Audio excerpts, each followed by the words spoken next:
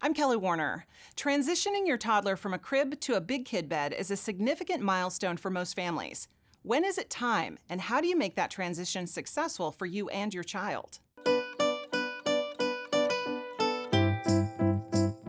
Transitioning your toddler from a crib to a bed is important for your child's development as well as for their safety. It's the right time to transition to a big kid bed when your child is at risk of crawling and falling out of their crib.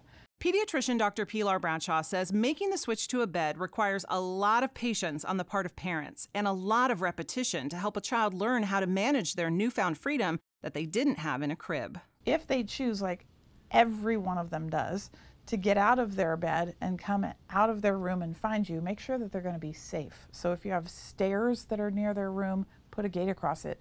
If you have a bathroom, shut the door at night so they can't wander into the bathroom um, and fall into the toilet or something while you're asleep. When you tuck your child in for the night, tell them to stay in bed until you come for them. If they get out of bed, calmly and quietly lead them back and tell them they must stay in their bed.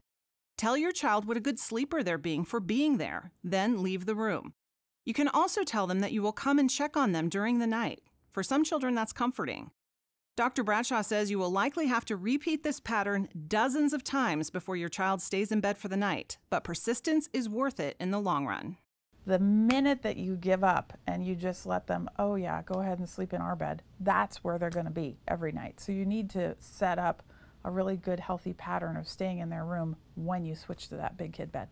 Dr. Bradshaw suggests that if you are able, make big transitions like this when your child's life is stable. So, for example, if you're expecting a new baby and you want to use the crib for your new arrival, transition your toddler to a big kid bed a few months before the baby arrives.